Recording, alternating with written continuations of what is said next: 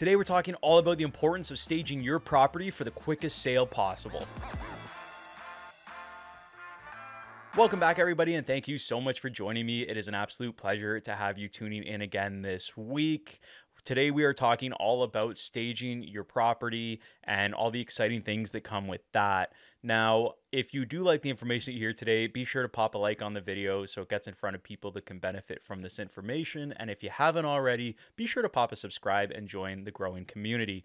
My name is Justin Little. I'm a local real estate agent here in Hamilton, Ontario, and I love making educational videos about the Hamilton real estate market. If you're looking to get a hold of me directly, you can click on the link in the description below to get a hold of me at a time that is convenient for you. There we go. Intro done. Let's move on and talk about staging your home for a quick sale. Now, I've had the fortune of interviewing uh, one of my favorite stagers. I hire her for all my listings to either do a consultation or stage it herself. And I picked up a few things that I want to share with you because I think this is very applicable.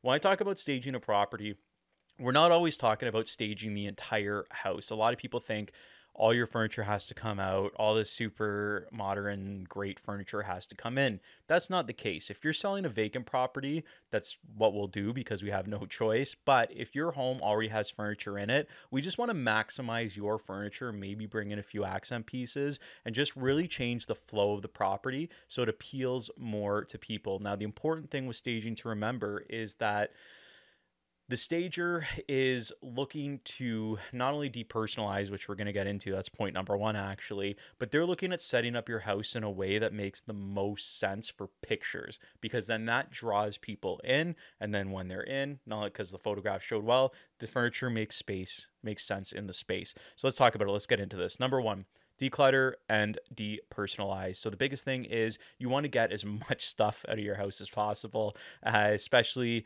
when it comes to big bulky furniture. You don't want to have too many chairs or too many bed couches or an overly large couch in a room that's just eating up all the space because it makes the room look smaller. You also want to take all the stuff off the countertops. Basically, me and my wife always joke when we sell our properties that uh, let's just okay now it's time to make it look like nobody lives here. So you want to declare and depersonalize. You want to make it like nobody lives there so that way the people purchasing your house can envision themselves living in it number two clean it thoroughly, even if you have to hire a cleaner. I don't know how many times I've shown a property and the property was nice, but it was dirty and you're walking and you could feel the dirt under your socks or somebody's barefoot in the house and they're getting stuff. It's just not a great feeling. So you want to make sure it's clean. Even light switches, if you're people touching them, they can be dirty. Doorknobs, sticky, countertops that are dirty. Just try to keep things clean. Give it a deep clean because even if a house is dated, if it's clean, people don't mind that it's dated because they think, okay, this is clean. I can live in it and we'll just update it when we need to update it.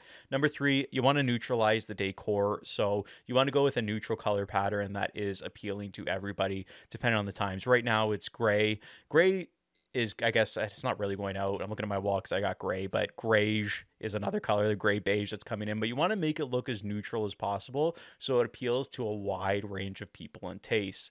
Not everybody's gonna love a bright red wall or a bright blue wall, pink wall, that sort of thing. So you want to neutralize it as much as possible. Number four, something that a lot of people underestimate is the curb appeal. Stop sleeping on this because curb appeal is huge. I've actually had clients pull up to properties that we have booked. They pull up in front. We get in the driveway. They get out of the car. Sometimes they don't even get out of the car. They say, Justin, we don't want to see this one because it might have looked nice in the photos. Maybe somebody took creative photos or a little bit of editing on it. But you pull up and you're like, what? Okay. You know, it doesn't look nice from the outside. I don't even want to go into this thing. So don't uh, don't rest on curb appeal. That can be a very big thing. Number five, furniture arrangement. You want to make sure that everything has a good flow. You want to have space for people to walk around the rooms, especially bedrooms. You don't want to throw overly large beds in rooms just because then people feel like it's smaller, feel like it's tighter. And as well, you also want to have walking space to the windows because I know from experience, everybody always walks into a room, they look at the room, then they mosey on over to the window, and then they look out the window. What's out this window? So you want to have clear space to get to the window so people feel like they can enter the room, walk in it, feel the space of it. Number six, focus on key rooms. So you don't necessarily have to stage every room, but I would consider it in the kitchen, making it as decluttered as possible, neat and organized. The living room, because that's uh, basically the main hub of your home where people are sitting, relaxing, company comes over. And then I would say probably the primary bedroom and ensuite if you have one, or main bath if you have it. Those are probably the key rooms that I would suggest uh, focusing on. You want to let in number seven, you want to let in natural light. That is huge open the blinds, open the drapes, get as much light in that house as possible because people feel good when they're around bright light. Nobody wants to walk into a house when it's dark and it's dingy and you really can't it just doesn't appeal well. You just don't feel comfortable. But when you walk into a house that's bright and airy, it just changes your whole energy, uh, and especially the people walking through your house for the first time. Number eight, I would say create an inviting ambiance. In a sense, now this when it comes to scents in a house, that's a big thing for me with ambiance is there's certain smells that will trigger people to think that you're covering up something versus a smell that smells good. For instance, Febreze has a high when we smell Febreze, it's a high likelihood of what are they covering up? Is it dog? Is it cigarette? Because that's why they're spraying the spraying the Febreze on the couch and stuff like that.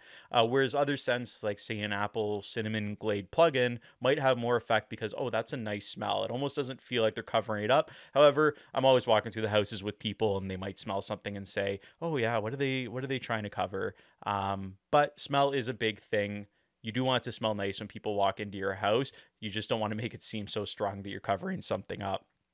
Number nine, highlight the functional spaces. So, highlighting functional spaces, I mean storage rooms and stuff like that. A lot of people just tend to toss stuff into the storage room, um, and people kind of look at it, oh, yeah, that's kind of big. It's got a bunch of boxes in it. But if you have it nice and organized and people can walk in and actually see the space in the room, it's a big difference. Even garages. Now, I know a lot of times people put stuff in the garage to declutter the house, and that's completely fine. But if a garage is clean and people can walk into it, take a look around, they will. They'll check it out. They want to see what they can do. Can their Christmas tree go up on the storage shelf up at the top? Stuff like that.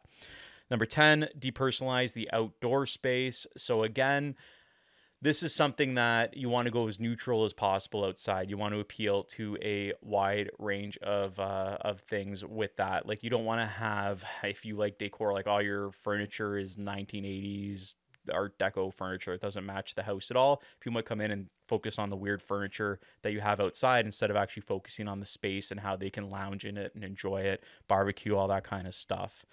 Number 12, fix repairs and upgrades. This is one to not be underestimated. I should have probably moved this up on the list. You want to fix these upgrades or even just small repairs because even little holes in the wall, scuffs, baseboards that might not be caulked, just these little small things that people look at and they think it's just, just missing that finishing touch. And then when people start to see things on the outside not look great, their immediate mind goes, well, it doesn't look great here. I wonder what's going on behind the walls. So definitely, if you have some small repairs to do, I would highly recommend it. And that's by small repair, I mean small repair. If you think you need hardwood and that's going to sell the house faster, like don't even bother because somebody might hate your hardwood. You're better off with the carpet. Somebody can come in and uh, do the hardwood that they want. And then lastly, uh, I'd say recommend getting a professional stager in. I cannot underestimate that. The girl that I use is absolutely fantastic. Um, she can work with your furniture to make sure that your house showcases the best. I bring her in for consultation on every single listing because I think it's absolutely crucial with getting the most amount of money for the property. Anyways, Thank you so much for watching this video this week. I know it was a little bit longer, but I have a feeling it brought a lot of value to you. And I look forward to making another video for you next week. Take care.